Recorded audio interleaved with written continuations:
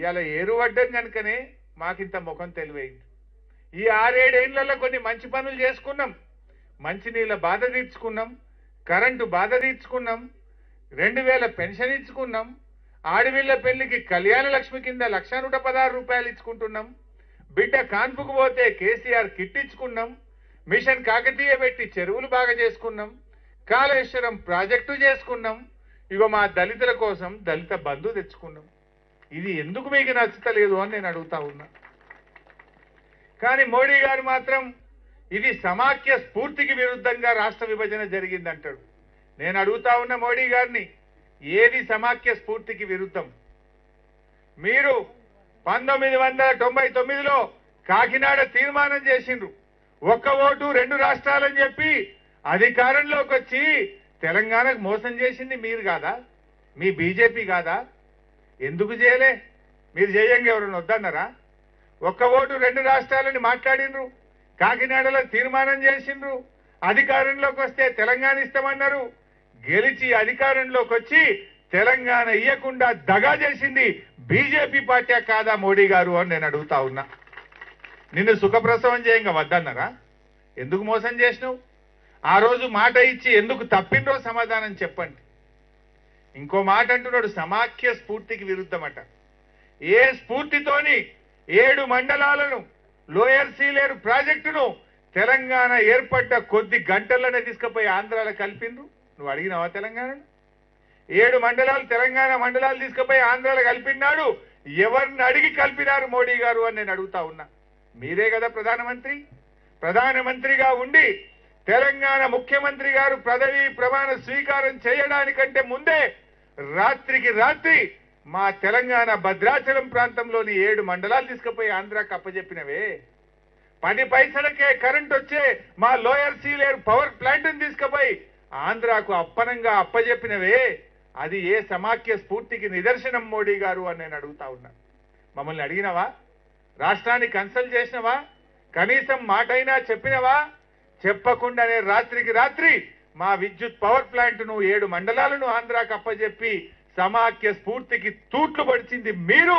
మీకు ఆ మాట్లాడే హక్కే లేదని చెప్పి కూడా నేను ఈరోజు మనం చేస్తాను. అంటే చెప్పేది ఒకటి చేసేది ఒకటి. ఏం తెలంగాణ ఏర్పడ్డ నీకు వచ్చిన నొప్పి ఏంది? మీకు వచ్చిన ఇబ్బంది ఏంది? తెలంగాణ ఏర్పడ్డదని తెలంగాణ ప్రజలు సంతోషపడుతున్నారు జర ఇప్పుడిప్పుడే బాగుపడుతున్నాం మేము జర ముందుకు పడతా ఉన్నాం.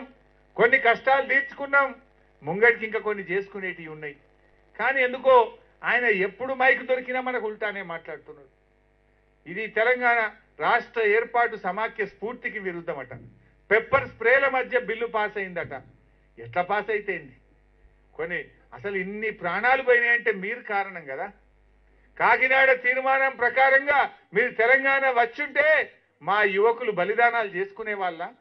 మా విద్యార్థులు అమరులు అయ్యే వాళ్ళ. ఇదే కాంగ్రెస్ పార్టీ ఆ రోజు టీఆర్ఎస్తో పొత్తు పెట్టుకొని కామన్ మినిమం ప్రోగ్రామ్లో పెట్టింది. రెండు వేల నాలుగులోనే కాంగ్రెస్ పార్టీ తెలంగాణ ఇచ్చుంటే మా యువకులు చనిపోదురా? ఇచ్చిన మాట మీద రెండు వేల నాలుగులో తెలంగాణ వస్తే మా శ్రీకాంతాచారి అమరుడు అయ్యేవాడా?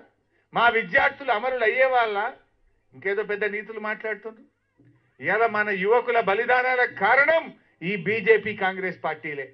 తెలంగాణ ఆలస్యం చేయడం వల్ల ఇచ్చిన తెలంగాణ వాపస్ పోవడం వల్ల మా యువకులు చనిపోయింది ఈ విద్యార్థుల యువకుల అమరులకు కారణం ఈ కాంగ్రెస్ బీజేపీ పార్టీలు తొంభై తొమ్మిదిలో ఇచ్చిన మాట ప్రకారంగా కాకినాడ తీర్మానానికి కట్టుబడి తెలంగాణ ఇచ్చుంటే ఈ తిప్పలవున అయ్యాలా లేదు మీరు రెండు వేల నాలుగులోనే కాంగ్రెస్ పార్టీ సిఎంపిలో పెట్టిన విధంగా తెలంగాణ ఇచ్చుంటే మా విద్యార్థులు అమరులైదురా?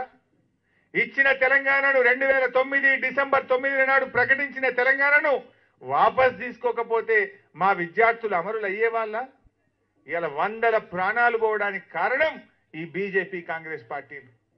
చేసింది జాలక మాట మాటకు అవకాశం చిక్కినప్పుడల్లా తెలంగాణ ప్రజల్ని అవమానపరిచే విధంగా ప్రధానమంత్రి మోడీ గారు మాట్లాడుతున్నారు.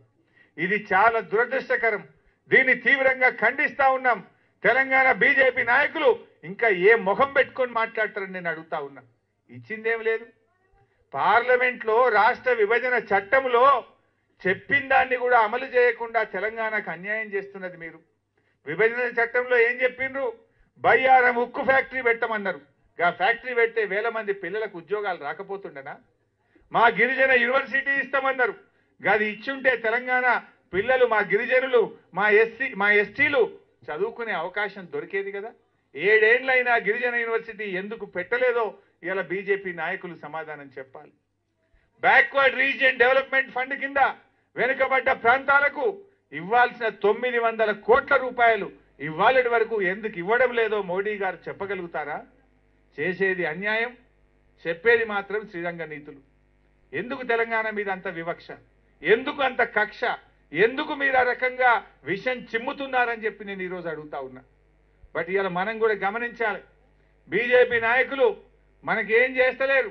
ఎరువుల ధరలు పెంచిరు డిఏపి ధరలు కాంప్లెక్స్ ఎరువుల ధరలు పెంచిండ్రు ఇంకా పెంచుతారట ముంగటికి.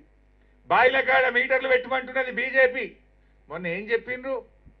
మొన్న పార్లమెంట్లో ఫిబ్రవరి ఒకటో తేదీ నాడు బడ్జెట్లో వాళ్ళు చెప్పింది ఏంటంటే రాష్ట్రాలకు ఇచ్చే ఎఫ్ఆర్బిఎం పాయింట్ ఫైవ్ పర్సెంట్ మీరు విద్యుత్ సంస్కరణలు అమలు చేస్తేనే ఈ అరశాతం మీకు ఇస్తాము అంటున్నారు. అరశాతం అంటే ఐదు వేల కోట్లు. ఏమంటున్నది బీజేపీ? బడ్జెట్లో షరతు పెట్టిండ్రు. మీ రాష్ట్రానికి ఐదు వేల కోట్లు రావాలంటే విద్యుత్ సంస్కరణలు అమలు చేయాలంటున్నారు. విద్యుత్ సంస్కరణలు అమలు చేయడం అంటే ఏంటి? బాయిల కాడ మీటర్లు పెట్టాలి ముక్కు విండి బిల్లు వసూలు చేయాలి. చెయ్యాలనా? చెయ్యాలనా? చెయ్యాలనా? మరి బీజేపీ వాళ్ళు చేయమంటున్నారు. దయచేసి మీరు ఆలోచించండి. మన ముఖ్యమంత్రి కేసీఆర్ గారు ఒక మాట అన్నారు. నా గొంతుల ప్రాణం ఉండంగా నేను బాయికాడ మీటర్ పెట్టా. మా రైతులకు ఫ్రీ కరెంట్ ఇస్తా ఇరవై నాలుగు గంటల కరెంట్ ఇస్తా నాణ్యమైన కరెంట్ ఇస్తా అన్నారు. మరి మనం ఆలోచించాలి రైతు గురించి ఎవరు ఆలోచిస్తారు?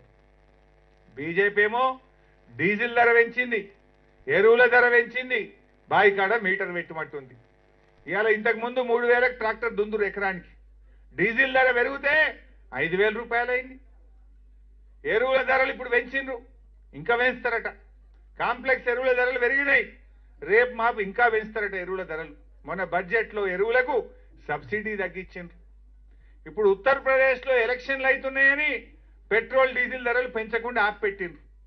ఒక్కసారి యూపీలో ఎలక్షన్లు అయిపోగానే మళ్ళా డీజిల్ ధర పెట్రోల్ ధర పెంచుతారట. పెంచుడు తప్ప ప్రజలకు ఇచ్చింది ఏమైనా ఉన్నదా?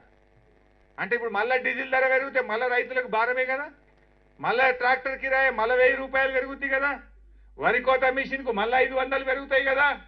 అంటే నువ్వు బాయికాడ మీటర్ పెట్టి బిల్లు వసూలు చేయమంటావు ఎరువుల ధర పెంచుతావు